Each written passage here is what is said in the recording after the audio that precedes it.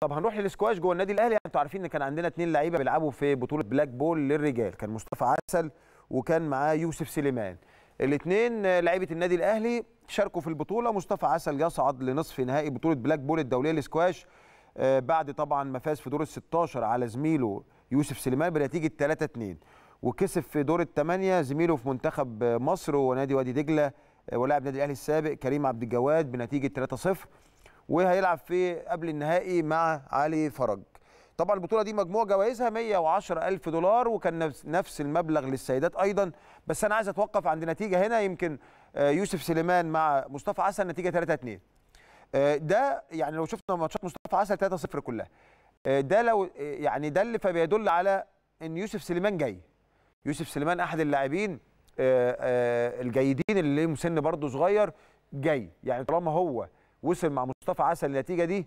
آه، أتصور لو ما كانش وقع مع مصطفى عسل في دور ال 16 كان ممكن يوصل لدور الثمانيه أو دور الاربعه ده رأيي يعني. آه، كويس يا يوسف ربنا يوفقك. ومصطفى عسل برضه كويس برافو عليك.